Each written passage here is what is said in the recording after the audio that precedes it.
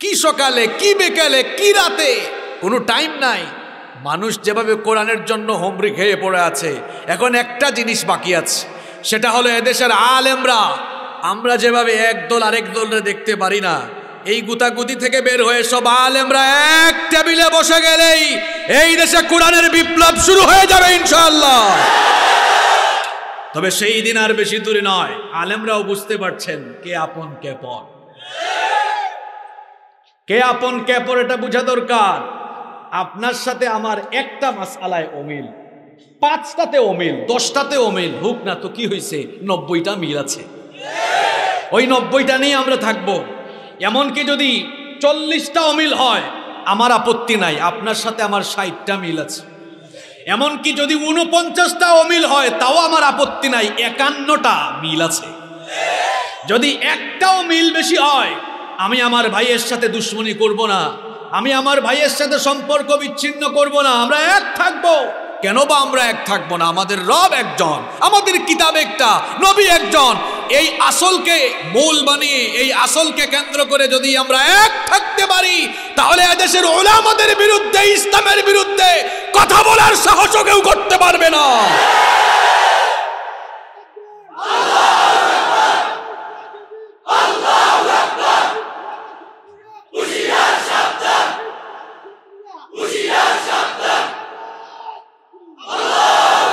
আমাদের প্রভু এক, নবীর জীবন বিধানে। ওই শিবানী কোরআন। এই কোরআন কার? আল্লাহ নাজিল করেছেন কার জন্য? হ্যাঁ? আমাদের। আমাদের মানে কি শুধু মুসলমান? সব সবার জন্য সার্বজনীন কিতাব। আমাদের প্রভু এক এক নবীর জীবন বিধানে। ওই শিবানী কোরআন। তবে কেন এক মুসলমান? এক এক করিয়াও বান। আল্লাহ আমাদেরকে এক বানিয়ে দেন। মৃত্যু বড় ভয়াবহ জিনিস সেদিকে যাচ্ছেন। সব শেষ। আল্লাহ তার কিতাবে বলেছেন কুল্লুমান আলাইহা ফান। সব শেষ হবে। ক্ষমতা শেষ হবে। তোমরা শেষ হবা। তোমাদের সমাজ শেষ। দেশ শেষ। তোমাদের দুনিয়া শেষ। গাছপালা শেষ। সব শেষ। ফান। একদম ফান হয়ে যাবে। ফেরেস্তাও বাকি নাই। আসমান জমিন সব শেষ। একজন বাকি থাকবেন। তিনি কে? ওয়াবকা ওয়াজহু রাব্বিকা দুল জালালি ওয়াল তিনিই কেবল থাকবেন। তো এই যে সব ধ্বংস একদিন হবে, এটা আপনাদের বিশ্বাস হয়তো? ওটা কোন দিন হবে? দুই সালে, তাই না? না, চল্লিশ সালে? এটা জানলে অবশ্য একদিকে ভালো হইতো, আল্লাহ যদি জানাইতেন তাহলে চোরেরা চুরি বন্ধ করে দিত। ডাকাতেরা ডাকাতি বন্ধ করত। দুর্নীতিবাজরা দুর্নীতি বন্ধ করত। জালেমরা জুলুম বন্ধ করে দিত। ওই জানে না তো, গাফেল হয়ে গাফলতিতে পড়ে আছে। এখন আমাদের প্রশ্ন হলো, আল্লাহ, ওই দিনটা কখন? কখন আপনি সব কিছুকে ধ্বংস করে দিবেন? যখন কোরআন নাজিল হয়েছে যেই যুগে নবীজি কোরআনের দাওয়াত দিয়েছেন, সেই যুগের লোকেরাই নবীজিকে এই সম্পর্কে জিজ্ঞেস করেছিল যে, কেয়ামতের কথা আপনি বলেন, ওই কেয়ামতটা কখন হবে? রব্বুল আলামিন সূরা আহজাবের 63 নম্বর আয়াতে বলছেন ইয়াসআলুকান নাসু আনিস সাআহ قل إنما علمها عند الله وما يدريك لعل الساعة تكون قريبا আল্লাহ নবীকে তারা বলতো কখন সেই কেয়ামত হবে আল্লাহ বললেন কল হে নবী, আপনি বলে দিন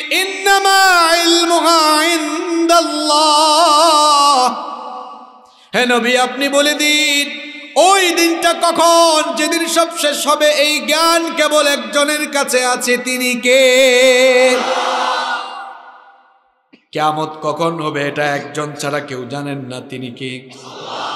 তবে কেয়ামতের সবচাইতে বড় আলামত হলো, আখেরি নবী দুনিয়াতে চলে আসা। এই জন্য নবীজি বলেছেন, আনা ওয়াসাতু কাহাতাইনি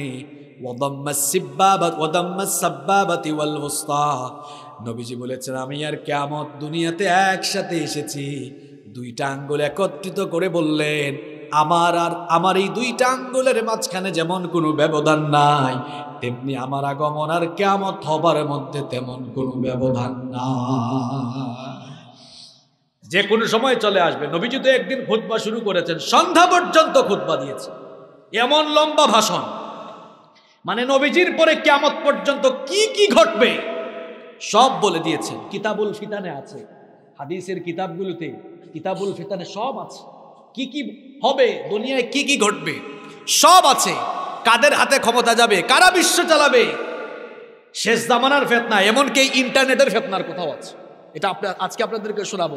দেড় হাজার বছর আগে ইন্টারনেট ছিল। নবীজি বলে গিয়েছেন, কেয়ামতের আগে মানুষ ইন্টারনেটের ফেতনায় পড়বে। নবীজির সময়ে মাইকও ছিল না, ক্যামেরা ছিল না। নবীজি ওই সময় বলেছেন ইন্নামিন আইয়ুজ হারাল কৌল ওয়ায়ুহজানাল ফেআল নবীজি বলেছেন, ওই কিয়ামতের আগে কথা আর কর্ম ধারণ করার যুগ আসবে। ধারণ তো বুঝেছেন, রেকর্ড করার যুগ আসবে। আমি হাদিস যখন প্রথম পড়েছিলাম, আমি অবাক, দেড় হাজার বছর আগে। বিজ্ঞান ছিল না, ক্যামেরা ছিল না, নবীজি বলছেন কি আপনি? আসলে তো নবীজিকে জানাইছেন কি? এমন এমন কথা শুনবেন, বুঝবেন যে কেয়ামতের কত কাছে। এত কাছে জানেন আপনারা যে ওই দিকে দাজ্জাল গোপনে থেকে সব ফেতনা চালাচ্ছে।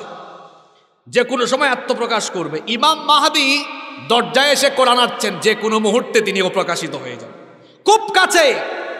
কেয়ামতের এই ফিতনাগুলো, যেগুলো নবীজি বলে গিয়েছেন দেড় হাজার বছর আগে, এগুলো আপনি স্টাডি করলে মনে হবে, আহারে, এটা তো যে কোনো সময় ঘটে যেতে ফেতনার যুগ শেষ শেষ সময় কেয়ামতের আগে, আখেরি জামানাটা হবে বড় ভয়ঙ্কর। এই জামানায় আমলের চাইতে ইমান বাঁচিয়ে রাখা কঠিন হবে। আমলের চাইতে ইমান বাঁচিয়ে রাখা কঠিন, এত কঠিন হবে। শুধু জ্বলন্ত কয়লার উপরে থাকা কঠিন যে আমরা এরকম না। একটা ধারালো তলোয়ারের উপর দিয়ে হাঁটা যেমন কঠিন শেষ জামানায় নিজের ইমান বাঁচানো তেমন কঠিন।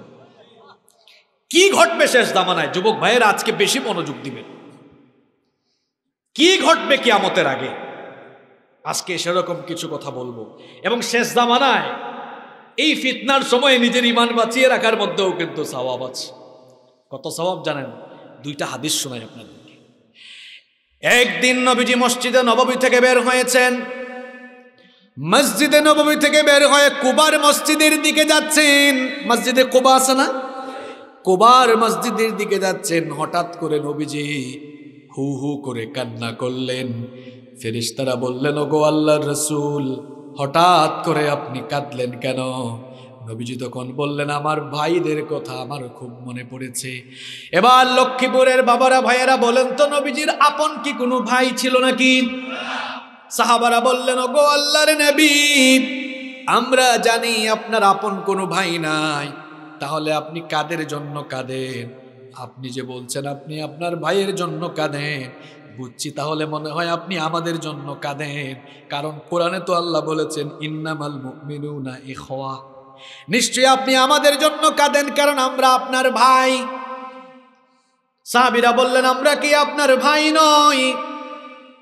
নবীজি বললেন, না, তোমাদের জন্য কাঁদছি না, কারণ তোমরা আমার ভাই নও। আন্তুম আসহাবি, তোমরা আমার সাথী, তোমরা আমার সাহাবি। তখন সাহাবিরা বললেন, ওগো নবী, আমরা যদি আপনার সাহাবি হই, তাহলে আপনার ভাই কারা? নবীজি তখন বললেন আখেরি জামানায় কেয়ামতের আগে ফেতনার ওই সময়ে আমাকে না দেখে আমার উপরে ইমান এনে আমার তরিকায় চলবে যারা আমার ভাই হচ্ছে তারা। আমাদের প্রতি নবীজির মহব্বতটা কেমন দেখেন? দুনিয়ায় থাকা অবস্থায় সাহাবিদের সামনে নবীজি আমাদের প্রতি দরদ দেখাইলেন কম না বেশি?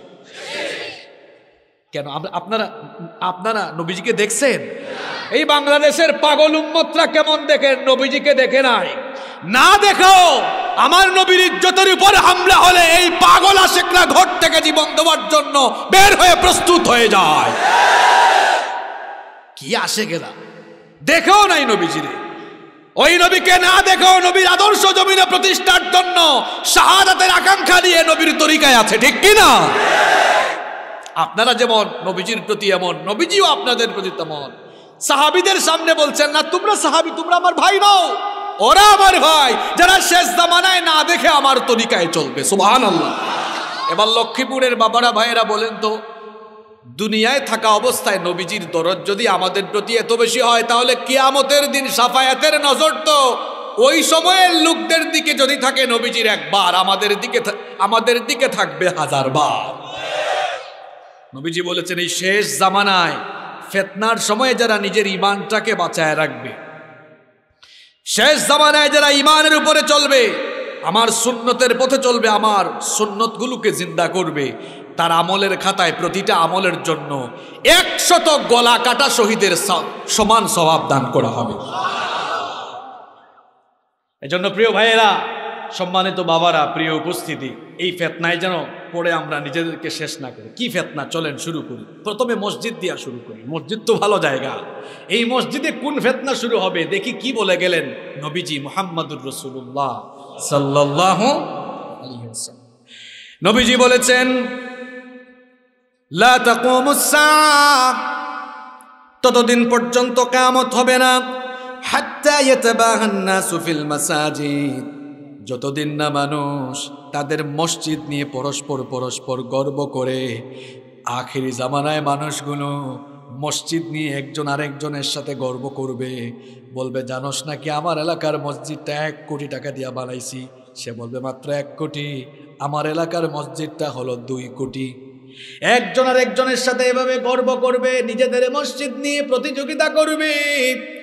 নবীজি বলেছেন তারা তাদের মসজিদগুলো সুন্দর করার জন্য, মসজিদগুলোকে আলোকিত শোভা সৌন্দর্যমণ্ডিত করার জন্য বেকুল থাকবে, কিন্তু মসজিদটাকে হেদায়তের কেন্দ্রস্থল বানাবে না, বরং মসজিদগুলোতে ভালো মানুষ থাকবে না, ভালো মানুষ মসজিদ পরিচালনা করবে না।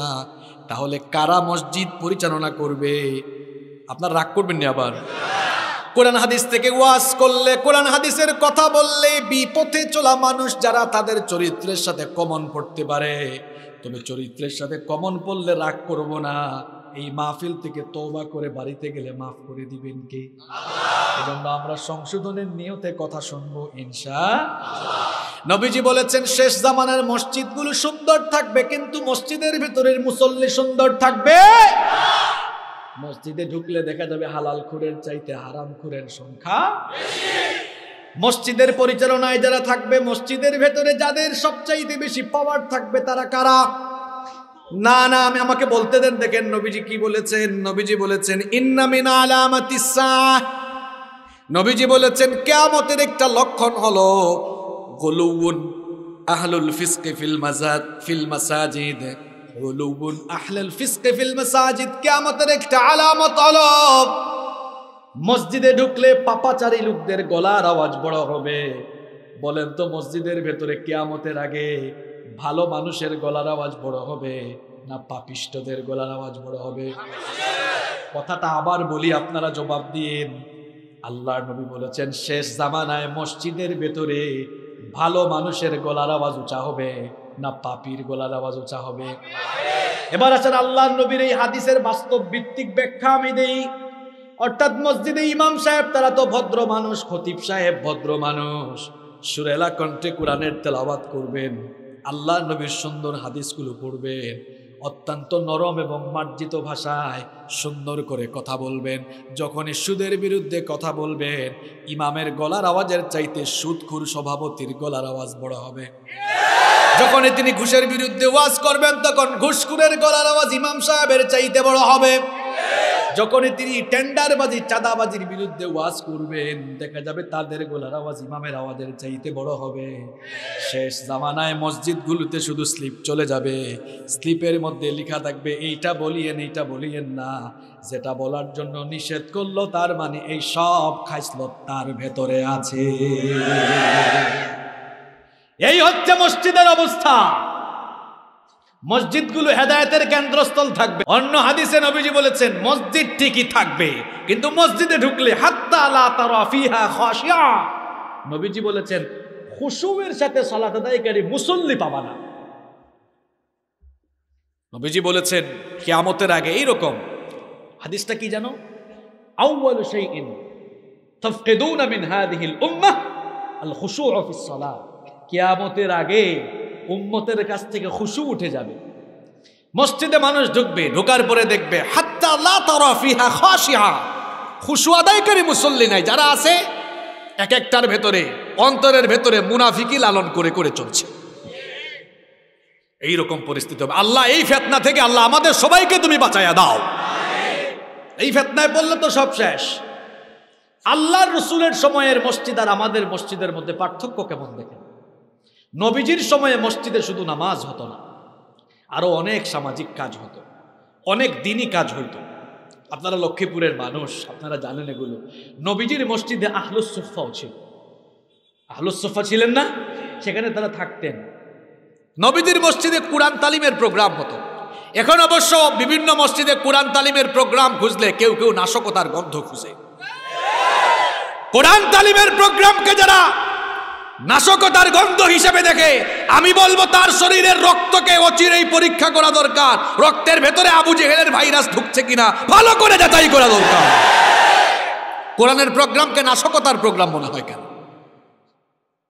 মানুষ কোরআন পারে না, তারা যদি মসজিদে কোরআন শিখায়, অসুবিধা আছে? মানুষ তো কোরআন শিখবে, এটা মুসলমানের দেশ। নবীজির সময়ে মসজিদে বিয়ে শাদিও হইতো। বহু সাহাবির বিয়ে তিনি মসজিদে দিয়েছেন। আমরা যেদিন থেকে মসজিদ আমরা যখন থেকে বিয়ে শাদি মসজিদ থেকে আউট করলাম, বিয়ে শাদি চলে গিয়েছে কমিউনিটি ক্লাবে আপনারা ক্লাব বলেন না সেন্টার বলেন, লক্ষ্মীপুরে?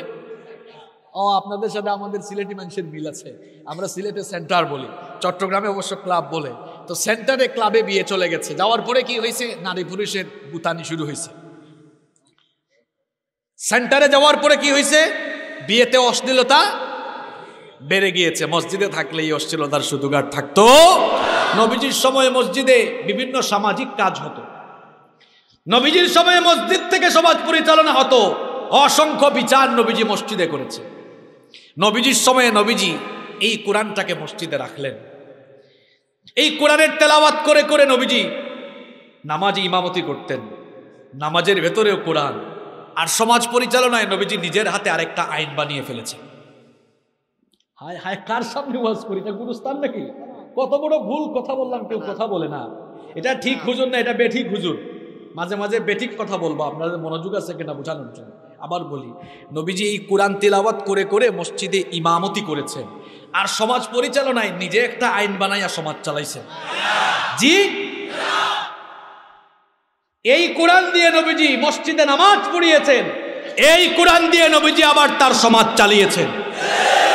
নবীজিও বলে গিয়েছেন, আমার পরে তিরিশ বছর আমার সাহাবিরা কোরআন দিয়ে সব চালাবে। এরপরে স্বার্থান্বেষী কিছু মুনাফিক মার্কা মোমেন্ট চলে আসবে।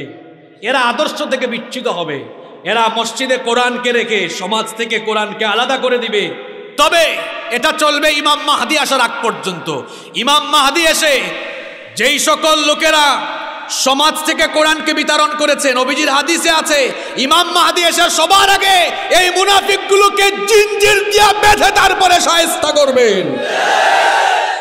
ইমাম মাহাদি চলে আসতেছেন, বেশি দিন আর নাই। আমরা নবীজিকে আমাদের রোল মডেল আমাদের আদর্শ হিসাবে মানি। তো আমার নবী তো কোরআন তার জীবনে, মসজিদে, সমাজে, নামাজে সব জায়গায় রাখছেন।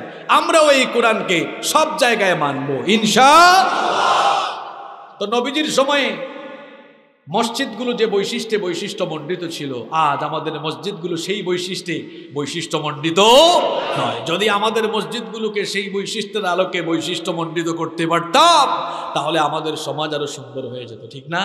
এই মসজিদে আমরা কি করতে পারি? দেখেন, আমরা মসজিদে আপনাদের এলাকায় মসজিদ, আপনারা উদ্যোগ নেন। সারা বছরে একটা মাহফিল আয়োজন করে লক্ষ লক্ষ টাকা খরচ করে যে পরিমাণ বেনিফিট আপনারা পাবেন, এর চেয়ে বেশি বেনিফিট পাবেন এই কথাগুলো এখন মানলে। সেগুলো কি? আপনারা মসজিদে একটা কোরআন তালিমের প্রোগ্রাম আয়োজন করেন। ইমাম সাহেব, খতিব সাহেব বা যারা কোরআন জানেন তারা সারা বছর কোরআন পড়াবে। সেই সকল ভাইদেরকে আপনারা পয়সাও দিয়েন কিছু। তাদের ফ্যামিলি চলুক, তাদের ঘর চলুক। কারণ সে এখন কোরআন পাঠদান করছে, এটা দাওয়াত নয়। সে এখন তাদেরকে কি দিচ্ছে? শিক্ষা দিচ্ছে। তারে শিক্ষক রাখেন, আপনি শুধু মানুষকে কোরআন পড়ান। এখানে আমি দুই ঘণ্টা ওয়াজ কইরা একজন মানুষকেও কোরআন শুদ্ধ করে শিখাইতে পারব না। কিন্তু ওখানে এক মাসে কম হইলেও দুইশো মানুষকে কোরআন শেখানো যাবে। ওইটার বেনিফিট বেশি, ওইটার সফলতা বেশি। তার মানে মাহফিল বাদ দিলে হবে না। মাহফিলও দরকার আছে। আল্লাহর জমিনে আল্লাহর দিন কায়েমের জন্য মাহফিলের দরকার। কিসের দরকার? মাঝে মাঝে দেখবেন ব্যাটারিতে চার্জ চলে গেলে আলোও কমে যায়। মাঝে মাঝে আমরাও চতুর্দিকে অন্ধকার দেখে আমরাও মন মোরা হয়ে যায় মাহফিলগুলিতে যখন ইমানই আলোচনা হয়, আমাদের ইমান আবারও শানিত হয়ে যায়, ভূতা ইমান আবারও ধারালো হয়ে যায়। এজন্য এটারও দরকার। তবে এটার চেয়ে বেশি উপকারী হচ্ছে ওইটা। মসজিদে মসজিদে। আমি এই বছর সব জায়গায়, গেল এক সপ্তাহে গোটা উত্তরবঙ্গে বলে এসেছি, গণশিক্ষা শুরু করা দরকার, কোরআনের গণশিক্ষা। কারণ একানব্বই শতাংশ মানুষ এই দেশে মুসলমান, একাশি শতাংশ হবে শুদ্ধ করে কোরআন পড়তেও পারে এই জন্য গণশিক্ষা শুরু করা দরকার। মসজিদে কোরআন তালিম শুরু করতে পারি। মসজিদে আমরা যদি সুযোগ হয় তো করলাম, নইলে বাইরে মহিলাদের জন্য কোরআন তালিমের প্রোগ্রাম শুরু করতে পারি। আমরা মসজিদ কমিটি থেকে শীতবস্ত্র বিতরণ করতে পারি। মসজিদ থেকে আমরা এতিমের বিয়ে প্রজেক্ট নিতে পারি। মসজিদ থেকে আমরা জাকাত ফান্ড বানাইতে পারি। মসজিদ থেকে আমরা সাপ্তাহিক, সারা বছরে এক মাহফিল দিয়ে কী করবেন? বরং এলাকার যারা বড় বড় আলেম, আমাদের চেয়ে বড় আলেমরা আছেন। আমাদেরকে এত দূর থেকে কেন আনে আপনারা? এই এলাকায় কত কামিল মাদ্রাসা আছে, কত দৌড়াই হাদিস টাইটেল পর্যন্ত মাদ্রাসা আছে। হুজুরদেরকে এরে মাসে দুইবার বা মাসে একবার যদি একটু দর্সুল কোরআন, দর্সুল হাদিস হইতো, তাহলে দেখতেন আমাদের ইমান আরও তাজা হইতো। এগুলো মসজিদ ভিত্তিক করা যায়। মসজিদ ভিত্তিক এই কাজগুলো করলে দেখা যাবে আমাদের সমাজটা সুন্দর থাকবে। হিংসা এখানে কোনো রাজনীতি আছে? যে কয়েকটা পরিকল্পনা মসজিদ থেকে বললাম উদ্যোগ নেওয়ার জন্য একটা কর্মসূচি তো রাজনীতি আছে। নাই, বরং আছে কি? আমাদের সবার ইমানকে শানিত করার, আমাদের ইমানকে ধারালো করার, ইমানকে সুন্দর করার, আল্লাহমুখী, আখেরাতমুখী হওয়ার পরিকল্পনা কর্মসূচি এখানে আছে। আল্লাহ বুঝার তৌফিক দান করেন। কিয়ামতের আগে, আজকে কি মা বোনরা মাহফিলে আসছেন? আচ্ছা বাড়ি থেকে তো শোনা যাচ্ছে। কিয়ামতের আগে নারীদের ফেতনা কেমনে পারবে নারীদের ফেতনার সাথে আপনাদের ফেতনাও জড়িত। আমি এই হাদিসটা যেদিন প্রথম পড়ছিলাম, আমি নিজে অবাক হয়ে গেলাম সুফান আল্লাহ এত বাস্তবিক কথা, দেড় হাজার বছর আগের বলা। আল্লাহ নবী বলেছেন, দুনিয়া ধ্বংসের আগে শেষ জামানায় মানুষ এত উন্নত হবে, প্রযুক্তি এত ডেভেলপ হয়ে যাবে, সেই সময় মরুচারী লোকেরা মরুভূমির জাহাজ নামে খ্যাত। উট তারা চালাতো। সেই সময়ে কিন্তু এখনকার মতো বিএমডাব্লিউ রেঞ্জ রোভার গাড়ি ছিল না। কিন্তু দেড় হাজার বছর আগে নবীজি কি বললেন দেখেন, হাদিসটা সংকলিত হয়েছে মুসনাদে আহমাদের ভেতরে। নবীজি বলেছেন আল্লাহ নবী বলেছেন, সায়াকুন ফি আখিরি উম্মতি। আখিরি জামানায় আমার উম্মত, তারা এমন হবে, এমন যুগে তারা চলে যাবে।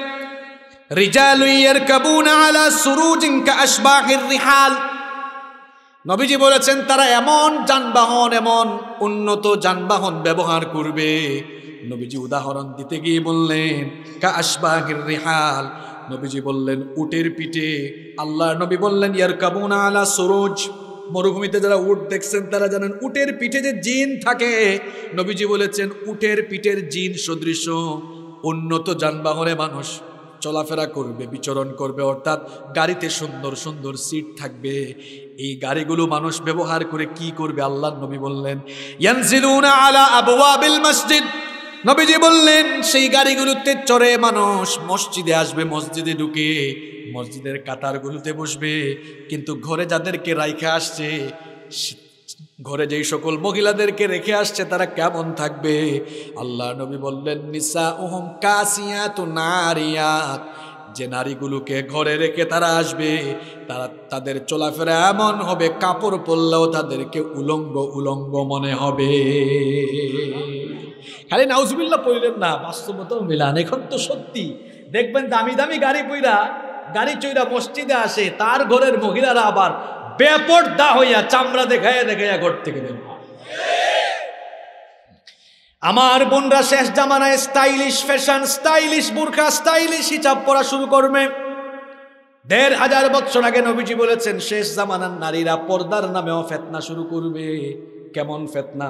আল্লাহ নবী বললেন, তারা বুরখা পরবে, হিজাবও পরবে, কিন্তু সেগুলো এত ফ্যাশনেবল হবে নিসা ওহম কাসিয়াত নারিয়াত বুরখা পরার পরেও মনে হবে শরীরের সব জিনিস বোঝা যাচ্ছে। কারণ হচ্ছে বুরখাগুলো টাইট হবে। আবার সেগুলো আকর্ষণ বিদুরিত করবে না, বরং আরও বেশি অ্যাট্রাকটিভ করবে। লাল, নীল, কত রঙের বুরখা এখন বের হয়েছে দেখবেন। এমন এমন ডিজাইন দিয়ে বুরখা বানায়, যেই বুরখা এসেছে সমাজ থেকে কলুষতা, অশ্লীলতা দূর করার জন্য। সেই বুরখাগুলো এখন হয়ে গিয়েছে। অশ্লীলতা সৃষ্টির বা ফেতনা সৃষ্টির একটা উপকরণ। দেখবেন এমন এমন ফ্যাশনের বুরখা এখন বাজারে আসছে। এই বুরখাগুলো পরলে তারপরে দেখা যাবে ফেতনা আরও বাড়বে। এই আমার বোনদেরকে বলব, খবরদার, লাল, নীল, হলুদ, বেগুন রঙের বুরখা পরবেন না। একদম কালো রঙের বুরখা পরবেন। টাইট ফিট বুরখা পরবেন না। লুজ বুরখা পরবেন। আবার আল্লাহ নবী এই হাদিসে এমন কথা বললেন, দেখেন, দেড় হাজার বছর আগের কথা মনে হয় যেন নবীজি আমাদের আমাদের দেশের মহিলাদেরকে দেখে দেখে বলতেছেন। আল্লাহ নবী বলছেন, কা আসনিমা তিল বুখতিল হিজাব। তারা এমনভাবে হিজাব বাঁধবে, বুখতি উটের কুজের মতো পেচ দিয়ে দিয়ে হিজাব বাঁধবে। এইরকম স্টাইলিশ হিজাবওয়ালা নারী অবশ্য লক্ষ্মীপুরে নাই। ইয়া আল্লাহ, কি বলেন আপনারা? এত জুড়ে আওয়াজ দিলেন। এখানেও আছে? বুখতি উটের কুজের মতো পেজ দিয়ে দিয়ে বাস দিয়ে দিয়ে কিছু কিছু নারী দেখবেন, এমন ফেতনা ছড়ায়। বুর্খাও পরে, হিজাবও পরে, তারপরে চেহারা দেখায় রাখে চেহারা এবার আস্কারা মাস্কারা লিপস্টিক লাগায়, বের হয়। বাংলাদেশের রাজধানীর নাম হলো ঢাকা।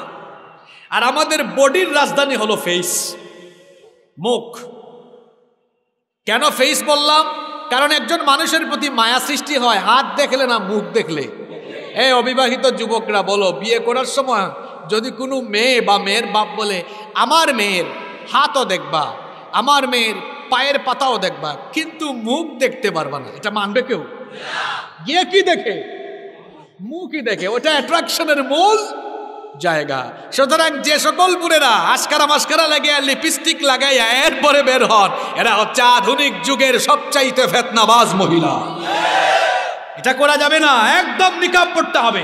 কিছু মহিলা আছে দেখবেন, ঘর থেকে বের হওয়ার সময় সাজগুজ শেষ করতে দুই ঘণ্টা লাগে।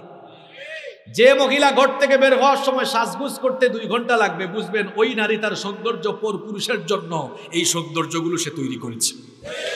বের হবে হাজবেন্ডের সাথে। একটা বোরখা পরে বের হয়ে গেলেই তো হয়ে যায়। এখানে এত সাজগুজির কি দরকার? বরং প্রস্তুত হবে নিজের হাজবেন্ডের জন্য। তিন ঘণ্টা, চার ঘণ্টা সাজুক, কোনো অসুবিধা? তাহলে ঘরের মেয়েদেরকে পর্দায় রাখবেন না বেপর্দায় রাখবেন?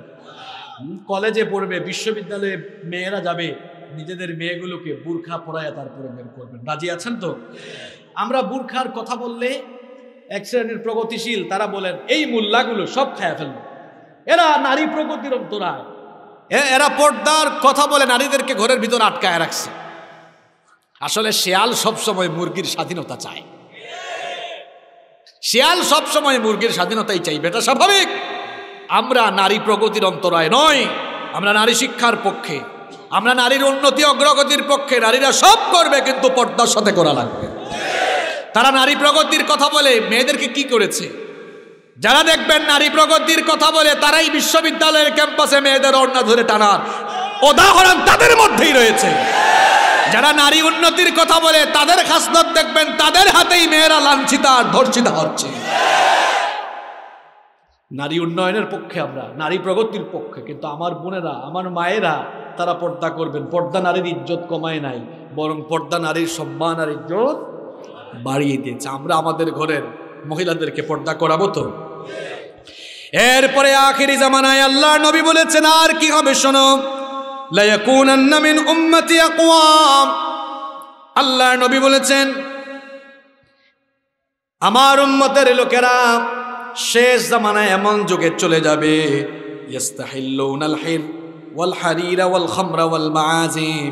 তারা রেশমি পোশাক পরিধানকে হালাল মনে করে নিবে। মদ এমনকি গান বাজনাকে তারা হালাল করে নিবে। আমি তো অবাক হয়ে গেলাম, বাংলাদেশের একটা টেলিভিশন চ্যানেলের সাংবাদিক আজকে সকালবেলা দেখলাম। সে বলতেছে, বিশ্বকাপের এই আয়োজন এবার মন ভরাইতে পারে নাই। কোরআন তেলাওয়াত দিয়ে অনুষ্ঠান শুরু হয়েছে যদি শাকিরার ওয়াকা ওয়াকা দিয়ে শুরু হইতো, তাইলে তার মন ভরত। বিশ্বকাপ আমাদের আলোচনার মূল বিষয়। আমি বলেছি, দেখেন, যার রিপোর্টটা আমি দেখেছি, সে কিন্তু হিন্দু না, সে মুসলমান। অর্থাৎ এগুলোকে আমরা খুব সাধারণ বিষয় মনে করে নিয়েছি। আমি দেখলাম কমেন্টগুলো পড়লাম আবার কিছু। দেখলাম কিছু আবদুল্লাহ আব্দুর রহমান কমেন্ট করছে। হ ভাই, ঠিক কইছেন। এখানে আবার আবদুল্লাহ আব্দুর রহমান থাকলে রাগ করেন না। কালকে আবার সকালবেলা মসজিদের হুজুরদেরকে বা যুবক ভাইদেরকে ধরেন না কোথ থেকে হুজুর একটা আনছো আমার নাম বলে গেছে। এটা একটা এক্সাম্পল দিয়েছি যে এই ধরনের নামধারী লোকেরাও কিছু কমে আমরা গান বাজনাকে এখন সিম্পল বিষয় মনে করি। বিয়ে শাদিতে বলে কয়েকটু বাজায় দেয়। না, এই অপসংস্কৃতিকে মোকাবেলার জন্য ইসলামী সংস্কৃতিকে আমাদের প্রমোট করতে হবে। এজন্য ইসলামী সঙ্গীতের শিল্পীদেরকে বেশি বেশি কাজে লাগাইতে হবে। ইসলামী সঙ্গীতের শিল্পীরা ওয়াজের স্টেজেও তারা আলোচনার ফাঁকে ফাঁকে ইসলামী সংগীত বলবে। আবার আমাদের বিয়ে শাদিতে যে অশ্লীলতা ঢুকছে, এই অশ্লীলতাকে বিদায় করার জন্য এই শিল্পীদেরকে আবার বিয়ে শাদিতে গান বাজনার বদৌলতে মানুষকে কিছু সুন্দর সুন্দর গান উপহার দিয়ে সমাজটাকে আস্তে আস্তে কলুষ মুক্ত করতে ইসলামী সংগীত এটা আবার বিনোদন না। এটাকে অনেকে বিনোদন বলে, এটা বিনোদন না, এগুলো হৃদয়ের খোরাক। কেন হৃদয়ের খোরাক জানেন? দুই ঘণ্টার ওয়াজের সারমর্ম মাঝে মাঝে একটা ছোট্ট ইসলামী সংগীত দিয়ে ফুটিয়ে তোলা যায়। এমন অনেক বহু গজল আছে যেটা যে গায়ক সে ধরলে সব মানুষ শুরু করে। দেখবেন আপনারা? ত্রিভুবনের প্রিয় মোহাম্মদ এলো। দেখছেন? দেখছেন কি আবেগ? বলছিলাম না, এমন বহু গজল আছে যা ধরলে মানুষ শুরু করে দিবে। এগুলা বিনোদন না, বিনোদন কোনটা? ওই যে কিছু গান আছে। কি মানুষ সব ঠিকই আছে, জামানা পাল্টে গেছে। এরকম কিছু গান আছে না? তারপরে আরও কিছু গান আছে না? ওই যে ফেসবুক টেসবুক নিয়ে, ইত্যাদি ইত্যাদি, বিভিন্ন গান আছে না? এগুলো বিনোদন হইতে পারে, কিন্তু ইসলামী গজল যেগুলো, সেগুলোর মাধ্যমে মূলত ইসলামেরই সৌন্দর্য ফুটে এগুলো দরকার আছে। এই জন্য যুবক ভাইদেরকে বলব, খবরদার কানে হেডফোন লাগাইয়া ঝাঁকা নাকা ঝাঁকা নাকা গান শুনিও না। গান শুনতে মন চাইলে আমার দেশে সাইমুম আছে, কলরব আছে, আমার দেশে কত শিল্পী গোষ্ঠী আছে, এদের সুর এমন যারা সুরে সুরে বাজনা দিয়া গান শোনেন বাজনার শিল্পী আর আমাদের শিল্পীদেরকে এক জায়গায় রাখিয়েন। দেখবেন এদের সুর আর এদের সুরের পার্থক্য কেমন? ওদের সুরে মানুষের চোখ দিয়ে পানি আসবে না। এই লক্ষ্মীপুরে এনে মশিউর রহমানেরকে গানে লাগায় দেন, ওবায়দুল্লাহ তারেককে গানে দিয়ে দেন। এমন এমন মরমী গান আছে যা শুনলে মানুষের চোখ দিয়ে শুধু পানি বের হবে। সুতরাং যুবকদেরকে বলব, গান যেগুলো আছে বাজনা সহ সেগুলো আমরা শুনব। বরং আমরা শুনতে মন চাইলে আল্লাহর নামের গান শুনব। কারণ আল্লাহর নামে যে গান গাওয়া হয় সেটার মধ্যে সৌন্দর্য আছে না নাই? তোমার নামে যদি গান গাওয়া হয়, গান সুন্দর হয়। তোমার নামে যদি গান গাওয়া হয়, গান সুন্দর হয়। গান শুনতে চাইলে নবীর সানে শুনতে হবে ঠিক কিনা কারণ পৃথিবীতে ওনার মতো অসাধারণ ব্যক্তিত্ব আর কেউ an unique, unparalleled personality in this world. তিনি হচ্ছেন এই পৃথিবীতে এমন এক ব্যক্তি যিনি হচ্ছেন অতুলনীয় অনন্য যার সঙ্গে কারও তুলনা চলে গান বাজনা ছেড়ে দিব। গান বাজনার ফেতনায় আমরা পড়ব না। গান বাজনার ফেতনায় পড়ে নিজেদের ইমানকে আমরা ধ্বংস করব না। কারণ গান বাজনা মানুষের অন্তরে মুনাফিকের সৃষ্টি করে। আল্লাহ নবী বলেছেন আল গিনা ওয়ান বুতুন নিফাক। আল্লাহ নবী বলেছেন, গান বাজনা মানুষের অন্তরে নিফাকের সৃষ্টি করে। যেমন ভাবে পানি জমিনে ঢাললে বীজটা বড় হয়ে যায়, তেমনি গান শুনলে মানুষের অন্তরটাও নিফাকিতে ভরে। এজন্য যুবক ভাইয়েরা, এখন থেকে আজে বাজে গান আমরা শুনব না, একদম ছাইরা দিব। কারা কারা ছাড়বেন না হাত তুলেন? এখন থেকে আমরা আজে বাজে গান ছাড়বো আর ইসলামী গান গাইবো, শুনব। কারা কারা রাজি হাত তুলেন? তাকবীর, লিল্লাহি তাকবীর। হাত তুলুন আল্লাহ কবুল করেন। এরপরে চার নম্বরে, শেষ জামানায় এমন ফেতনা আসবে, নবীজি বলেছেন, শেষ জামানায় এমন অবস্থা হবে, মিডিয়ার মাধ্যমে সত্যকে মিথ্যা বানানো হবে। মিথ্যাকে সত্য বানানো। এমন একটা হাদিস এখন বলব, শুনলে মনে হবে, হুজুর, এটা কি নবীজি আমাদেরকে এখন দেখা দেখা এই যুগে বলছেন নাকি? না, এই হাদিসটা দেড় হাজার বছর আগের ইবনে মাজা শরীফে হাদিস এসেছে। হাদিস বর্ণনাকারী সাহাবীর নাম হচ্ছে আবু সব চাইতে বেশি সংখ্যক হাদিস বর্ণনাকারী সাহাবী হচ্ছেন তিনি। তিনি বলছেন, নবীজি বলেছেন, সায়াতি আলান নাসি সানাওয়াতুন খাদ্দাআত। নবীজি বলেছেন, অচিরে এমন এক প্রতারণাময় জামানা আসবে, ইউসাদ্দাকু ফিহাল কাদিব ওয়ায়ুকাযযিবু ফিহাস সাদিক ওয়ায়ুতামানু ফিহাল খাইন ওয়ায়ুখাউইনু ফিহাল আমিন। নবীজি বলেছেন, অচিরে এমন এক প্রতারণা জামানা আসবে যে জামানায় মিডিয়ার মাধ্যমে সত্যবাদীকে মিথ্যাবাদী বানানো হবে, সত্য জিনিসকে মিথ্যা হিসাবে দেখানো হবে, মিথ্যা জিনিসকে সত্য হিসাবে দেখানো ভালো মানুষকে খারাপ বানিয়ে ফেলবে, খারাপ মানুষকে ভালো বানিয়ে ফেলবে। দেড় হাজার বছর আগে আল্লাহ নবী যেটা বলে গিয়েছেন, দেখেন আজকের জামানায় সত্য মিথ্যা কেমন? যেমন আজকের দিনের একটা ঘটনা দিয়ে বুঝাই, আজকের দিনে সোশ্যাল মিডিয়ায় সব চাইতে ভাইরাল খবর হলো যে ডাক্তার জাকির নায়কের লেকচার শুনে নাকি চারজন মানুষ মুসলমান হয়েছে হয়েছে ঠিক আছে, কিন্তু এটা আজকে বা কালকে হয় না এটা হয়েছে আরও ছয় বছর। আগে, তাইলে দেখেন তো, গতকাল বা আজকের একটা ঘটনা মিথ্যাভাবে প্রচার করে দেওয়া হচ্ছে, অথচ সত্য হলো ছয় বছর। আগে এছাড়া আরও কিছু উদাহরণ দিই। দেখেন, সত্যকে সত্যকে কেমনে মিথ্যা বানানো হয়, ভালোকে কেমনে খারাপ বানানো হয়। শুধু যে ভালোকে খারাপ বানানো হবে তাই না, ভালো মানুষকে খারাপ বানানো হবে, খারাপ মানুষকে ভালো বানানো। মিডিয়া এমন কাজ শুরু করবে, সব মিডিয়া না, কারণ মিডিয়াতে অনেক ভালো মানুষ আছে, অনেক ভালো মিডিয়া আছে। এখন আবার এখানে কেউ থাকলে বললেন না, হুজুর, আমাদেরকে বলছেন নাকি? আমি তো কোনো দেশের নামও বলি নাই, কারও নামও বলি নাই। এখন যদি মিলে আর আপনি যদি বলেন মানুষে ভাববে, বুঝছি তার সাথেই মিলছে। এই জন্য ভালো হবে চুপ থাকা, ভালো হবে আল্লাহ নবী বলেছেন, আখেরি জামানায় মিডিয়ার মাধ্যমে সত্যকে মিথ্যা, মিথ্যাকে সত্য বানানো হবে। চোর, ডাকাতকে পর্দায় ভালো বানানো হবে। নায়িকা বা, নায়িকা, গায়িকার ভি চিহ্ন দেখানো হবে। আবার অন্যদিকে দেখা যাবে, বড় বড় আলেমদেরকে ধর্ষণকারী আর চরিত্রহীন বলে মিডিয়ায় প্রচার করা হবে। তবে এগুলো করে লাভ হবে না। মানুষের হৃদয় থেকে আলেমদের আলেমদের প্রতি মানুষের শ্রদ্ধাবোধ, সম্মানবোধকে কোনোদিনও কমানো যাবে না। মানুষ বিশ্বাসও করে না এগুলো। এগুলো কমেন্ট সেকশনে গেলে বোঝা যায়। কমেন্ট পড়েন না আপনারা মাঝে মাঝে? কিছু কিছু মানুষ দুনিয়া থেকে যায়, মৃত্যুর খবর প্রচারিত হলে কমেন্টে গেলে দেখবেন মানুষ শুধু আফসোস করে, ওই যে আমরা প্রায় সময় একটা কথা বলি এমন জীবন করিও, গঠন মরিলে হাসিবে, তুমি কাঁদিবে। এই সকল আল্লাহওয়ালা মানুষরা দূর থেকে বিদায় হলে দেখা যায়, তামাম দুনিয়া তাদের জন্য কাঁদে। ওই যে আমার একটা হাদিস মনে পড়ল, নবীজি বলেছেন, আল্লাহওয়ালা একজন লোক যখন দুনিয়া থেকে বিদায় নেয়, তার মৃত্যুতে শুধু দুনিয়ার মানুষের অন্তর কাঁদে না, আসমান জমিন চল্লিশ দিন তার জন্য ক্রন্দন করে। এই হাদিসে এই নবীজি বলেছেন, তার বিপরীতে একজন কাফের, মুশরিক বা ইসলাম বিরোধী কিংবা মুনাফিক যদি মারা যায়, তার জন্য আসমান জমিনের কেউ বিন্দু মাত্র আফসুস করে। দেখবেন কিছু কিছু মানুষ মারা যায়, কমেন্টে মানুষ শুধু বলে, আলহামদুলিল্লাহ। আছে না নাই? সুতরাং এমন জীবনের দরকার নাই। যে জীবন চলে যাওয়ার পরে মানুষ ধিক্কার দেয়, এই জীবনের কোনো দরকার সত্যকে মিথ্যা বানানো যাবে না। মিথ্যাকে সত্য বানানো যাবে। আল্লাহ নবী বলেছেন কেমতের আগে, আখেরি জামানায় মিডিয়ার মাধ্যমে আরও কি করা হবে শোনো?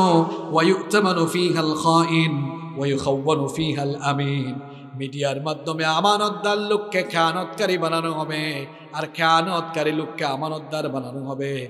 বড় বড় আল্লাহওয়ালা মানুষগুলোকে বানানো হবে, জাকাতের টাকা খায়া ফেলছে, আর চোর বাটপারদেরকে সম্মান দিয়ে দিয়ে বের করে দেওয়া হবে।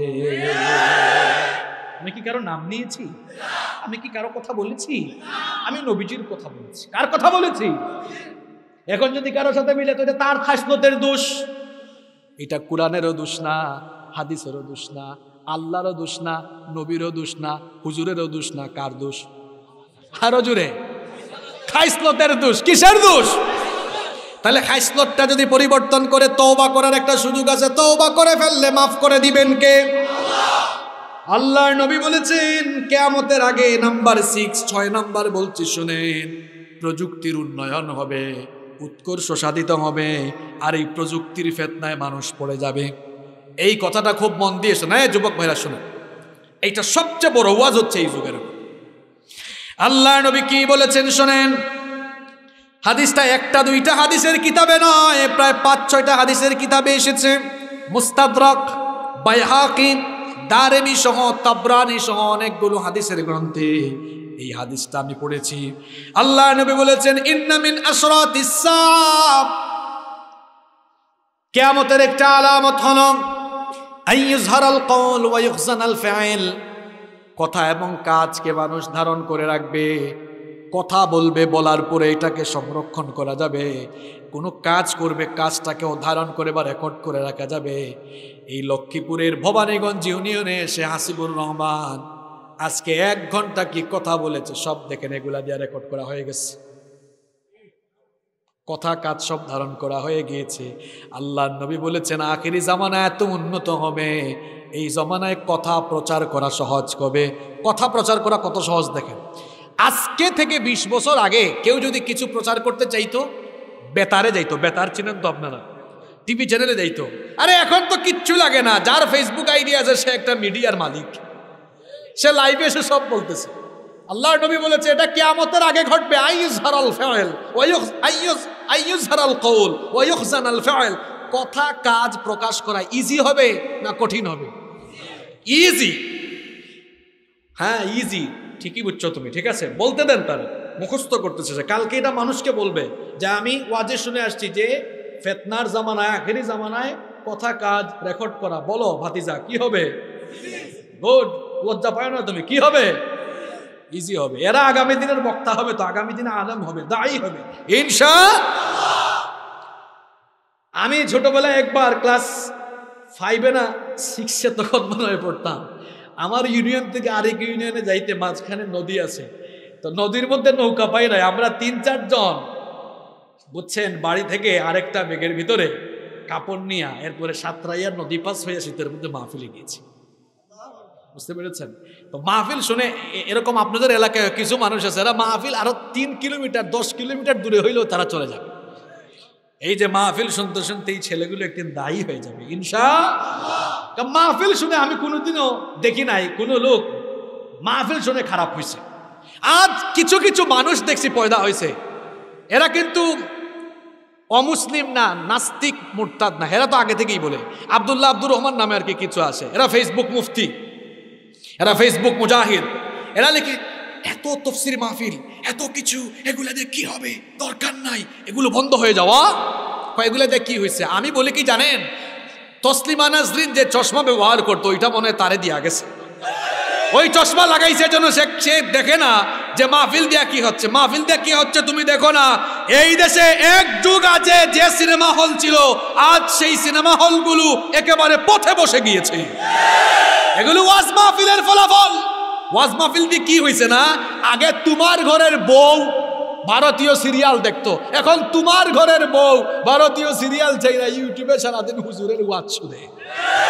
কই, ওয়াজ মাহফিল কি হয়েছে ওয়াজ মাহফিলের কারণে দেখেন তো যাত্রাপালা আসে না গেছে।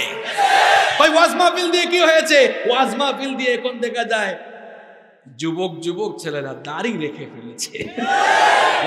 দিয়ে কি হয়েছে? রাস্তাঘাটে হাঁটলে নিচের দিকে তাকাও না। দেখো না, যুবকের প্যান্ট আর লুঙ্গি টাকনুর উপরে উঠে গেছে। ওয়াজ মাহফিল দিয়া কি হয়েছে? এই গভীর রাতে যুবক বিশ্বকাপে আছে না কোরআনের মাঠে আছে?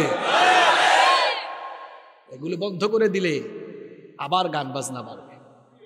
এগুলো বন্ধ করে দিলে আবার যাত্রা বাড়বে। এগুলো বন্ধ করে দিলে যুবকরা আবার বিপদে যাবে। বরং এই মাহফিলগুলো আছে বলেই বাংলাদেশে এখন যুবক তরুণরা কোরআনের বিপ্লবের জন্য নিজেদেরকে প্রস্তুত করছে। এই এই যে গণজমায়েত এতে কি হবে জানেন? এই গণজমায়েত একদিন গণবিস্ফোরণে পরিণত হবে। ওই গণবিস্ফোরণ গণবিপ্লবের রূপ নিবে।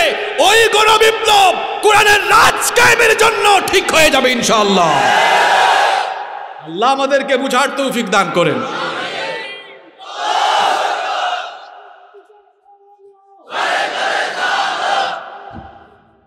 মাহফিলের দরকার আছে না নাই? তবে কিছু মানুষ আছে, তোলে তোলে চায় না মাহফিল হোক, বাধা দেয়। যুবকরা মাহফিলের আয়োজন করলে বাধা দেয়।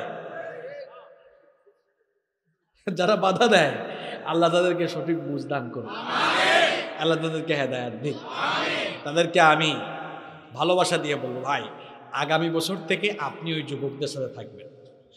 দেখবেন আপনার অন্তর কলুষ মুক্ত হবে। আপনার হৃদয়ে শান্তি আসবে। আপনার যে এত পেরেছেন এত টেনশন যে টেনশন নিয়ে ঘুমাইতে পারেন না। খালি টেনশন টেনশন দুশ্চিন্তা দুশ্চিন্তা। দেখবেন সব দুশ্চিন্তা কেমনে চলে গেছে? একটা উদাহরণ দেই। আচ্ছা বলেন তো, আপনারা কি একটা না দশ ঘণ্টা জার্নি কইরা আইসা এরপরে কথা বলবেন না, ঘুমাই যাবেন? নোয়াখালী, লক্ষ্মীপুর থেকে ঢাকায় গিয়া, ঢাকা থেকে লক্ষ্মীপুর আইসা মানুষ কি করে? ঘুমাই কিন্তু দেখেন, কোরআন মানুষকে কি চাঙ্গা রাখে? দেখেন আমরা যারা কোরআনের কথা বলি এত আম- না সবার কথা বলছে। দেখবেন এত এত জার্নি করে গিয়াও হাসি মুখে কথা বলে। কোরআন তাদেরকে চাঙ্গা রাখে। আল্লাহ নবীর সাহাবিরা এই কোরআনের দাওয়াত ছড়িয়ে দেওয়ার জন্য কোরআনের জন্য তারা যখন যেখানে গিয়েছেন আমি আমাদের কথা বাদ দিয়ে আপনাদের কথা দেখেন না, এক অঞ্চল থেকে আরেক অঞ্চলে ছুটে যায়। একটা মাহফিলের জন্য এক মাস খায় না ঘুমায় না। কিন্তু এরপরেও মাহফিলের দিন দেখে যায় এরা চাঙ্গা। চাঙ্গা থাকে কোরআনের কারণে। কারণ কোরআনের একটা নাম। কোরআন হচ্ছে কোরআনের আসলি নাম, মৌলিক নাম। কোরআনের সিফাতি আরও নিরানব্বইটা নাম আছে। এর মধ্যে আমি মাস্টার্সে থিসিস আমি করেছিলাম এই বিষয়ের উপরে। আসমা ও আউসাফুল কোরআন মিন খিলাল কোরআন করিম। যে কোরআনের যত গুণবাচক নাম বা সিফাতি নাম আছে, এগুলো নিয়ে আমি মাস্টার্সে একটা গবেষণাপত্র রেডি করেছিলাম।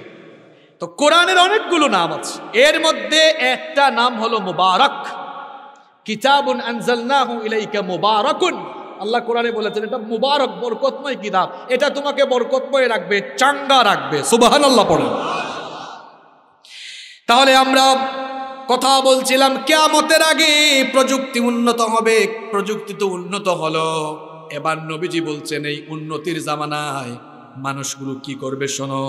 নবীজি বলেছেন, ওয়ামিন আশরাতি সাআতি আন তুরফাল আশরাত। নবীজি বলেছেন, ওই প্রযুক্তির উন্নতির জামানায় মন্দ বিষয়গুলো বেড়ে যাবে। অর্থাৎ প্রযুক্তির অপব্যবহার করে মানুষ তার চরিত্র নষ্ট করে।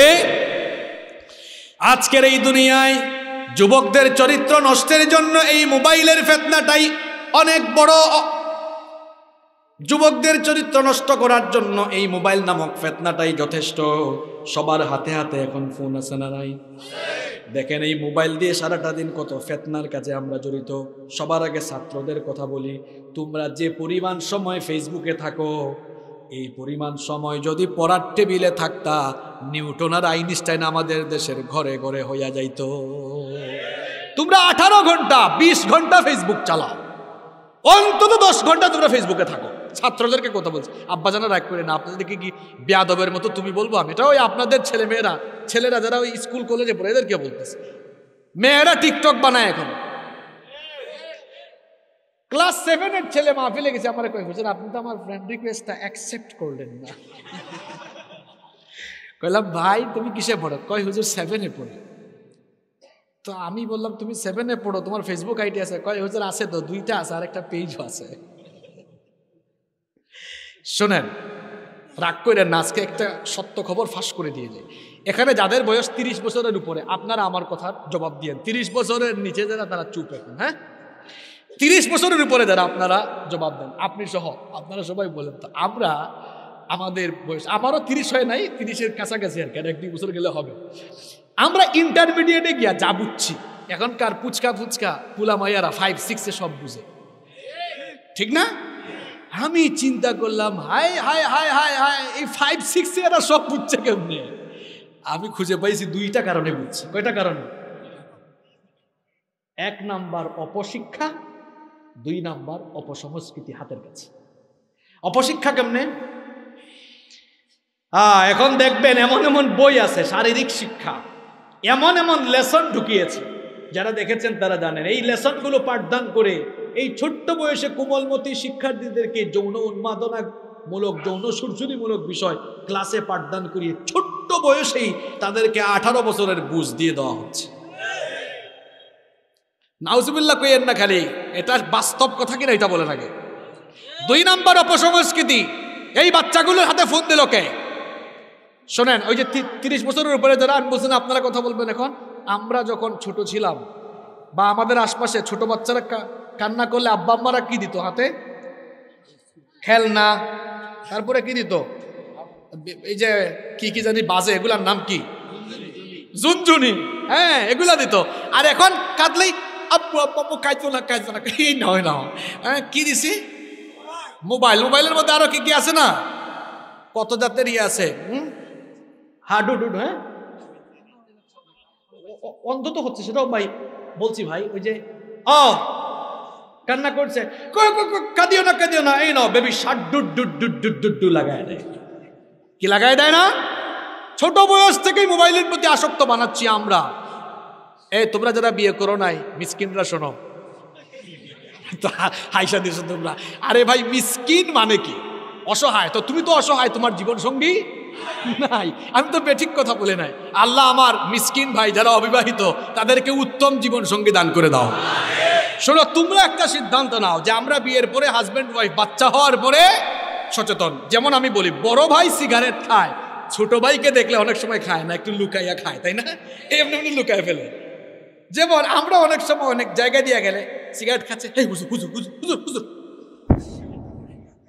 এরকম আছে না? আলহামদুলিল্লাহ, এখন ওই শ্রদ্ধাবোধটা আমাদের সমাজে ছেলে বাপের সামনে খায় না। আলহামদুলিল্লাহ ভালো। শ্রদ্ধা করছে। তাহলে আমরা যদি বাচ্চারা যেন সিগারেটের চাইতে আরও মারাত্মক হলো এই মোবাইল আমরাও যদি বাচ্চা দেখেছি ওয়াইফকে বল, এই ফোনটা এখন রেখে দাও না, আমাদের ছেলে চলে এসেছে, মেয়ে চলে এসেছে ফোনটা ড্রয়ারে রাখেন, বাচ্চা ঘুমালে নিজেরা ইউজ করেন মানে বাচ্চারা আড়ালে আড়ালে ইউজ করেন ফোন থেকে দূরে রাখেন, এই যে আমার ভাই বললেন, চোখ নষ্ট হচ্ছে, এখন দেখবেন সতেরো আঠারো বছরের ছেলেদের মাইগ্রেনের সমস্যা হচ্ছে বেশি, এরা বেঙ্গালুরে যাচ্ছে চিকিৎসার জন্য এয়ারপোর্টে গেলে দেখবেন বেঙ্গালুর গ্রামে অনেক মানুষ। ইন্ডিয়ান পাসপোর্ট করতে গেলে অ্যাম্বাসিতে গেলে দেখবেন রুগীর সংখ্যা বেশি। রোগীর সংখ্যা মাইগ্রেনের সমস্যা হচ্ছে। মোবাইল ফোনটা হাতে দিয়ে না এটা বিষাক্ত জিনিস। ওই দিন এক লোক আমাকে বলল, হুজুর, দোয়া করেন আমার মেয়েটার জন্য। ক্লাস এইটে এ প্লাস পাইছে। খুশি হয়ে আমি একটা আইফোন গিফট করছি। আমি বললাম, ভালোই করছেন। কিছুদিন পর আপনার মেয়ে আপনার জামাই গিফট করবে। ওর কি দরকার ফোনের এখন? কোনো দরকার আছে? তোমাদের যাদের ফোন আছে, তোমরা যারা ইন্টারমিডিয়েটে পড়ো, আজকে আব্বা আম্মার কাছে জমা দিয়ে দিও। মোবাইলের ফেতনায় পড়া যাবে না।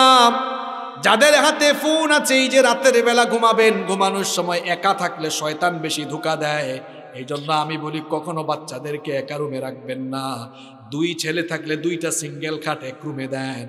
মেয়েকে কখনো একা রাখিয়েন না। এক মেয়ে থাকলে মা মেয়ের সঙ্গে ঘুমাবেন। কারণ একা থাকলে শয়তান ধরে। এখন কেউ কেউ বলতে পারে, হুজুর, আমার তো একটাই, আর কেউ নাই। তাইলে বলবেন, ঠিক আছে, রাতের বেলা দরজা লাগাইস না।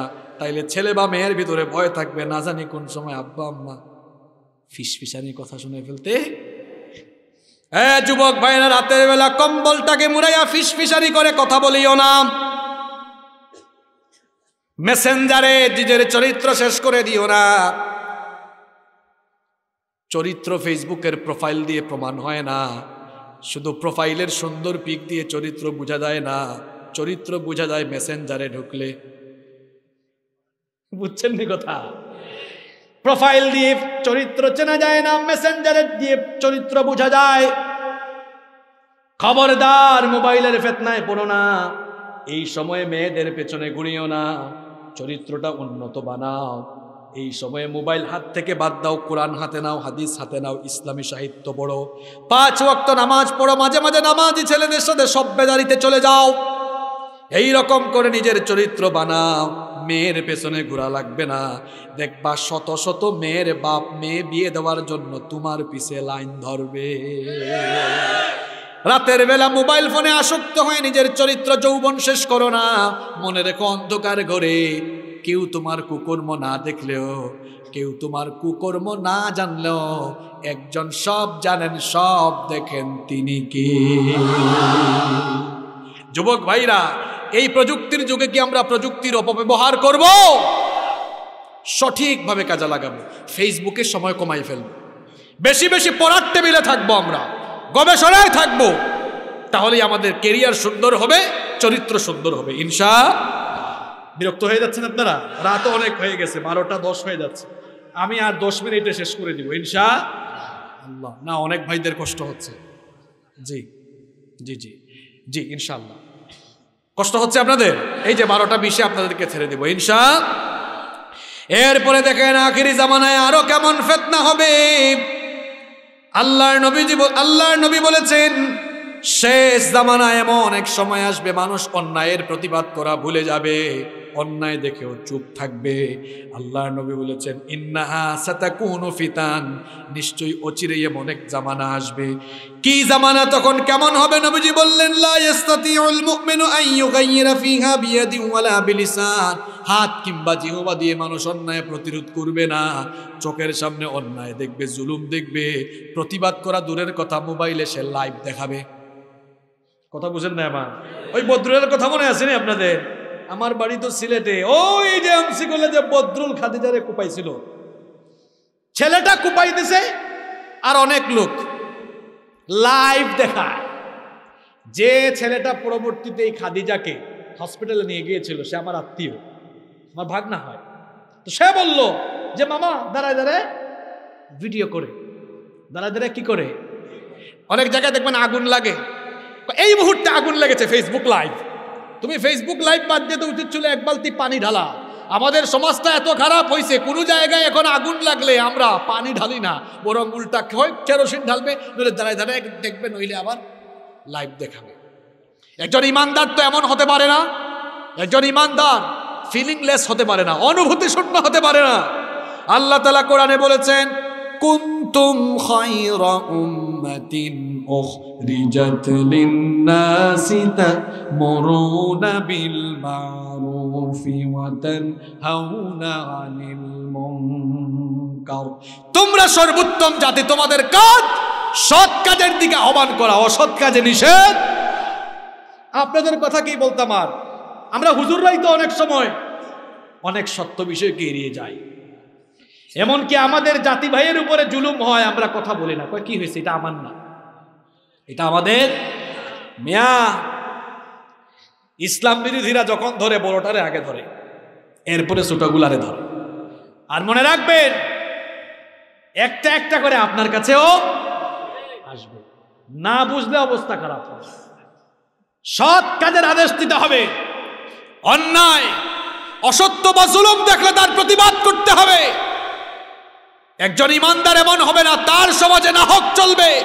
অন্যায় চলবে, জুলুম চলবে, আর যে চুপ থাকবে এমন হবে না। বরং যেখানেই অন্যায় আর জুলুম চলবে, সে বারুদের মতো জ্বলে উঠবে। যদি না করেন, কি হবে? একটা হাদিস বলে শেষ, বুঝে ফেলবেন। নবীজি বলেছেন, যে ব্যক্তি অন্যায় দেখেও চুপচাপ থাকে, তার উদাহরণ হলো দুই তলা বিশিষ্ট জাহাজের মতো। উপরের তলায়ও যাত্রী আছে, নিচের তলায়ও যাত্রী। কিন্তু ওই জাহাজে বিশুদ্ধ পানি সরবরাহ আছে শুধু উপরের তলায়, নিচের তলায়। নাই। কিন্তু নিচের তলার যাত্রীরা এজন্য পানি সরবরাহ করতে পানি আনতে উপরের তলায় যায়। নবীজি বলছেন, উপরের তলায় কেউ যদি রাগ হয়ে বলে, তোরা নিচের তলা থেকে একটু কম কম আসতে পারিস না এই কথা শুনে যদি একজন নিচের তলার কেউ বলে ফেলে যে, ভাই, তোরা যে কথা বলিস, সামনে থেকে আর আমরা, আমি পানি লাগলে আসব না। পানি লাগলে জাহাজ ছিদ্র করে পানি তোলা শুরু করব। এই পাগলা যদি কথা মতো কাম শুরু করে আর জাহাজ ফুটা করে পানি তোলা শুরু করে, জাহাজ ডুবলে পাগলাটা একা ডুববে না, সবগুলা ডুববে। তাহলে সমাজে অন্যায় চললে, না হক চললে আপনি তসবি টিপনেওয়ালা মানুষ, নামাজি মানুষ। আপনি কথা বলছেন না, নিজে জান্নাত ব্যস্ত, জাতির উপরে গজব আসলে আপনার মতো তাসবি টিপনেওয়ালা লোক আগে গজবের মধ্যে পড়ে যাবে।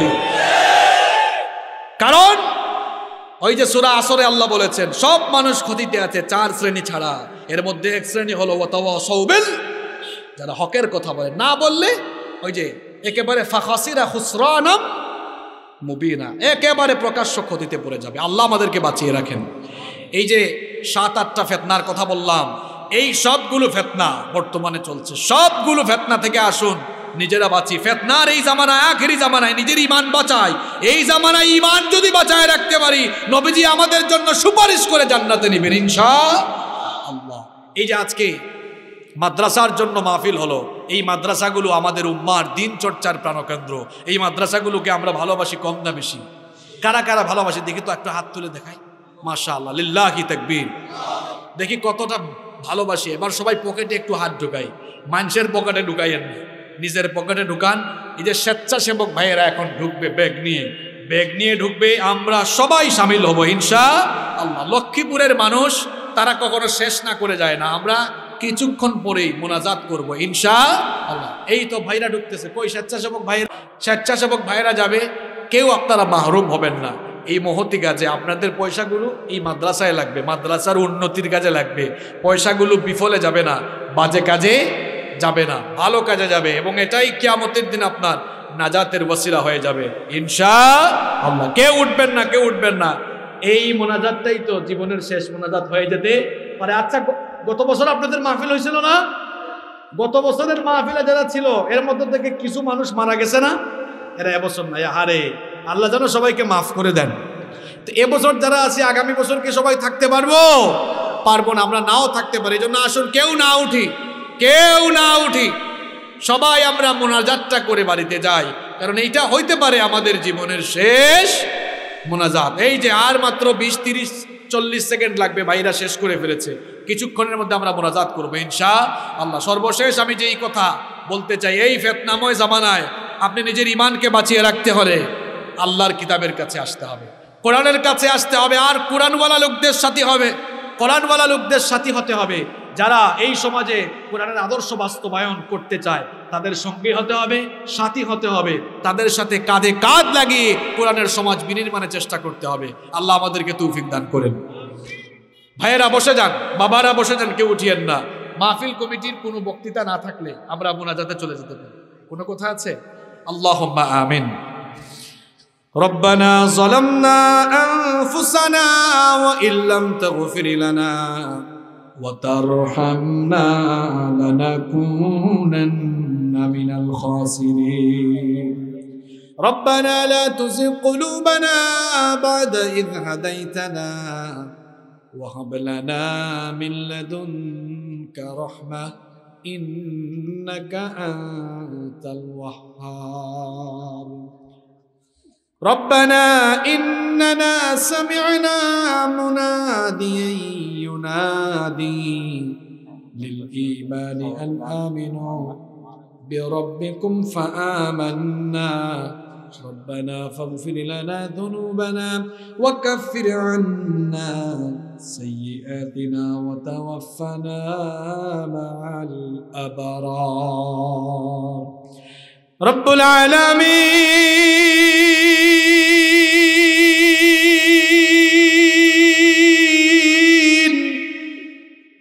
গভীর এই রাত পর্যন্ত আমরা তোমার কোরআন পাগল বান্দারা নীরবে বসে বসে তোমার কিতাব থেকে আলোচনা শুনেছি ওগো গভীর এই রাতে জীবনের সমস্ত গুণাগুলোর জন্য লজ্জিত হয়ে, অনুতপ্ত হয়ে তোমার কাছে ভিক্ষার দোকানে হাত তুলেছি গো আল্লাহ।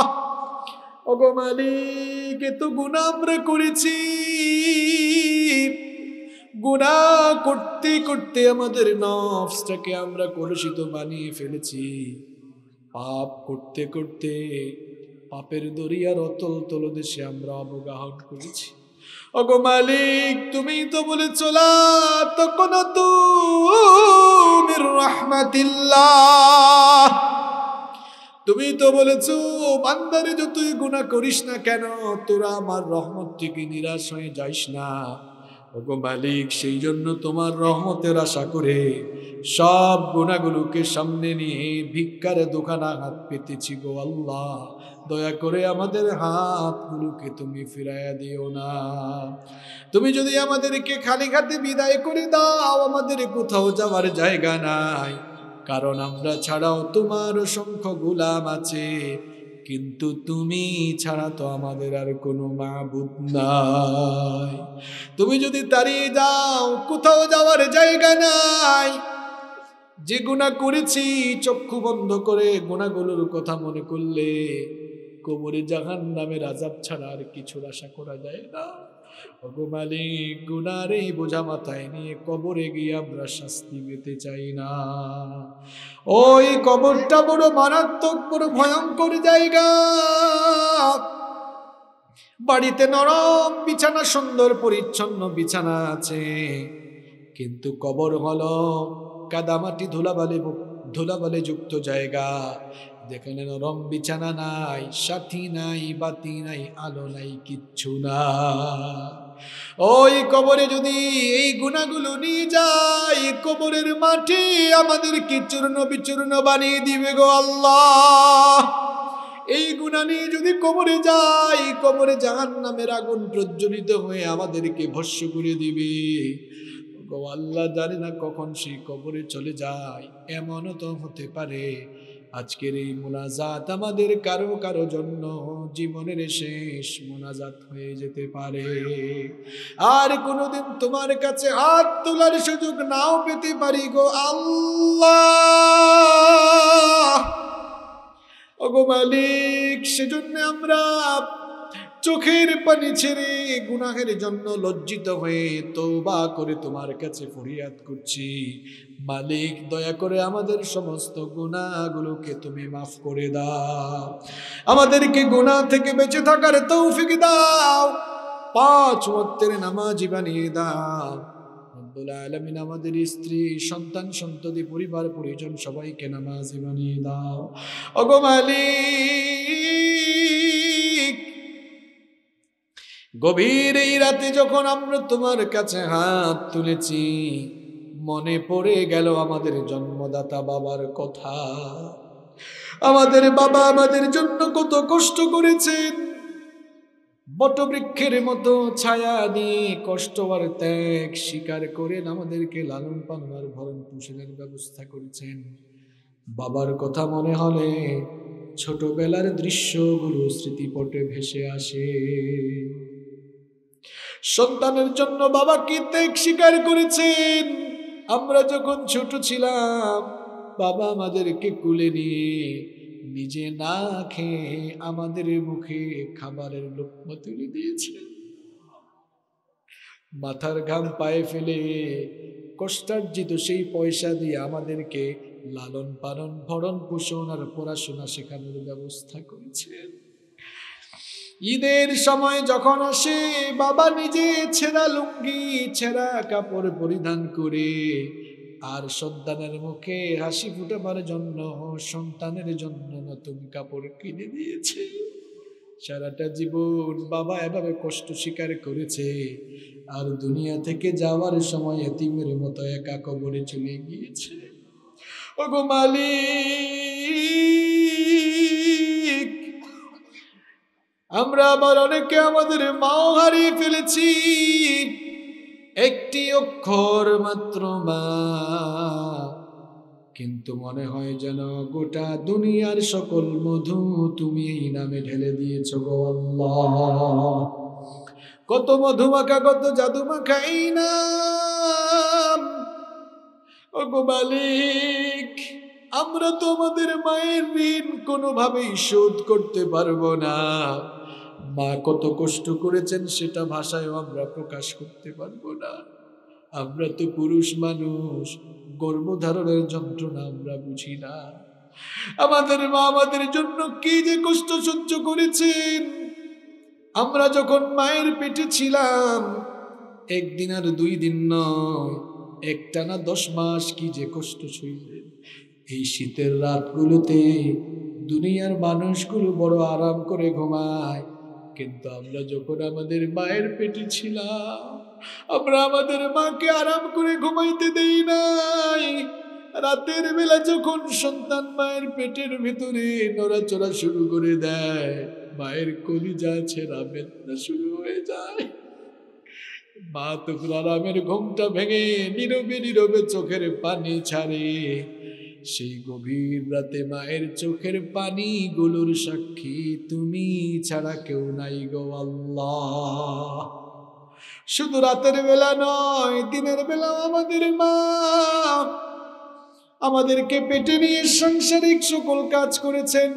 ঘরের সকলকে খাওয়ানোর পরে ক্ষুধা পেটে মা যখন খাবার খেতে বসেছেন, ঠিক তখনই সন্তান পেটের ভেতরে নড়াচড়া শুরু করেছে।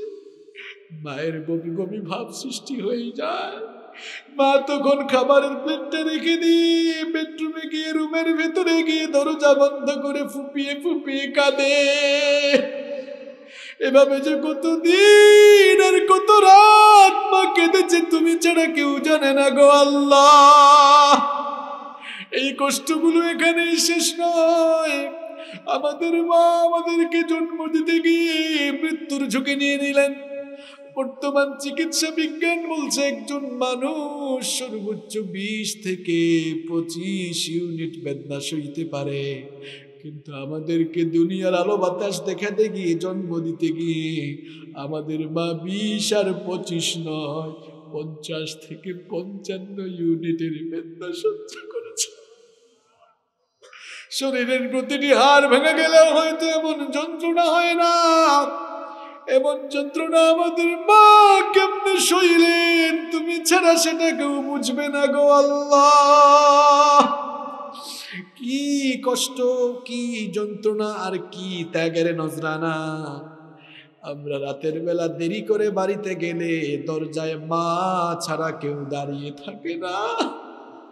আমাদের যাদের মা নাই, বাড়িতে গিয়ে আমরা দরজায় সেই মমতাময়ী মাকে দেখি না। আমাদের যাদের মা নাই, বাড়িতে গিয়ে মা মা বলে ডাকতে পারি না গো আল্লাহ।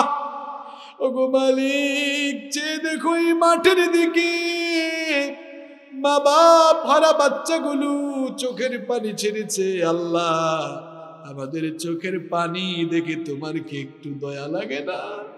গো মালিক, আমাদের চোখের পানি দিয়ে আমাদের কবরবাসী মা বাবার কবরের জাগান নামের আগুন তুমি চিরতরে নিভায়া দাও আমাদের যাদের মা বাবা বেঁচে আছেন খায়াত বাড়িয়ে দাও যতদিন তারা বেঁচে থাকবেন তাদের খেদমত করার তৌফিক দাও আল্লাহ اغفر لي ولوالدي وقل رب ارحمهما আমার বাবারা, আমার ভাইরা সবাই পড়েন রব্বির হামহুমা কামা রব্বায়ানি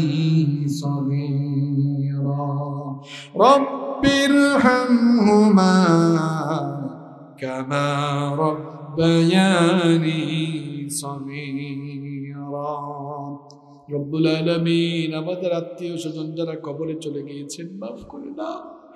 এই গ্রামে এলাকায় যত কবরস্থান রয়েছে, কবরস্থানের সকল মূর্তিকান্তের কবরের আজাব মাফ করে দাও।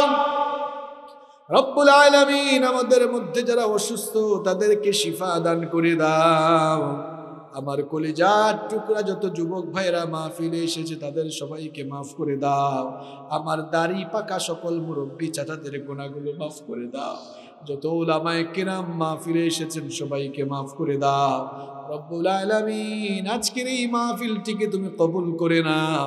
এই মাহফিলটি বাস্তবায়নের জন্য আমার অনেকগুলো ভাইয়েরা দিনের পর দিন পরিশ্রম করেছে, পেরেশানি করেছে। গভীর রাত হয়েছে, তারা এখনও টেনশনে খাওয়া দাওয়া করে নাই। দিনের পর দিন, রাতের পর রাত তারা পরিশ্রম করেছে, তো পরিশ্রমের পরে আমার ভাইরা এই মাহফিলের আয়োজন করেছে। আল্লাহ আমার ভাইদের গুণাগুলো তুমি মাফ করে দাও। আলমিন আমার এই সকল আয়োজক ভাইদের আব্বা আম্মার গুণাগুলো মাফ করে দাও। আমার ভাইদেরকে তুমি দিনের জন্য কবুল করে নাও। রব্বুল আলমিন এই মাদ্রাসাটিকে তুমি কবুল করে নাও। এই মাদ্রাসার সকল শিক্ষক, ছাত্রছাত্রী সবাইকে মাফ করে দাও। এই মাদ্রাসার যত সমস্যা আছে সমাধান করে দাও। রব্বুল আলমিন, মাহফিলে যারা দান সৎকা করেছেন, আমরা যারা সবাই এসেছি মাহফিলে, কাল কেয়ামতের দিন মাহফিলটাকে তুমি আমাদের নাজাতের ওসিলা বানিয়ে দিও।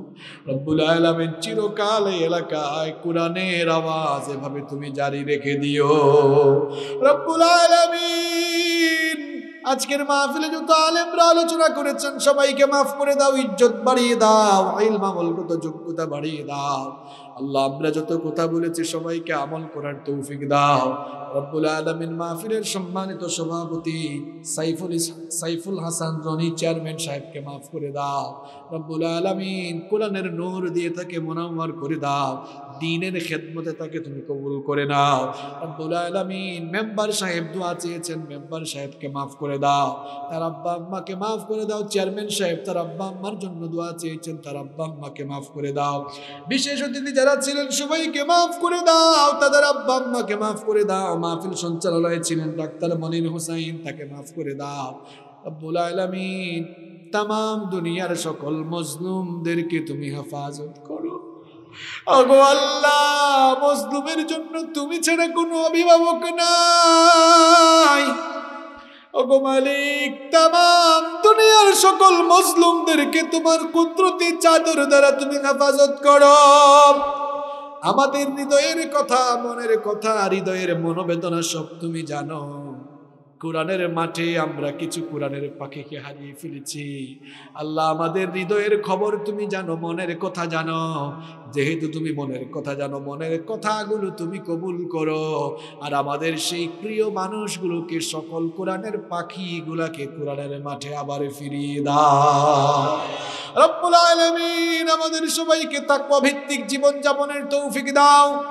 আমাদের সবাইকে কোরআনের পথে চলার তৌফিক দাও। কোরআনের আদর্শে আদর্শিত হওয়ার, রসুলের আদর্শে আদর্শিত হয় আদর্শবান মানুষদের সাথে চলার তৌফিক দান করে দাও। ওগো মালিক, শেষ বেদন তোমার কাছে গো আল্লাহ। দুনিয়াতে কেউ আমরা চিরদিন থাকব না। আমাদের গুনাহের কারণে গাড়ির নিচে চাপা দিয়ে অ্যাক্সিডেন্ট করে আমাদের মন দিও না গো আল্লাহ। আমাদের পাপের কারণে এমন কঠিন কঠিন রোগ দিও না। যে রোগের কারণে পায়খানা প্রস্তাবে বিছানায় ঘোরাঘুরি করে জিল্লতি আর বেজ্জতির পৌঁতের সম্মুখীন হওয়া লাগে। গুনার কারণে এমন রোগ দিও না। যে রোগের কারণে বিছানা থেকে উঠে তোমারে সাজদা দেওয়া যায় না। ওগো মালিক, আমাদেরকে সুস্থতার জিন্দগি দান করো। আমাদেরকে সুস্থতা আর শুকুর গুজারের জিন্দগি দান করো। যখন মৌতের সময় আসবে, তখন আমাদেরকে নামাজরত অবস্থায়, কোরআন তেলাওয়াতরত অবস্থায়, কোরআনের মিছিলরত অবস্থায় কোরআনের পথে চলার তো অবস্থায় আমাদেরকে শাহাদাতের মৌত নসিবি করে দিও। আর মৌতের সময় জবান থেকে বের করে দিও, লা ইলাহা ইল্লাল্লাহ মুহাম্মাদুর রাসূল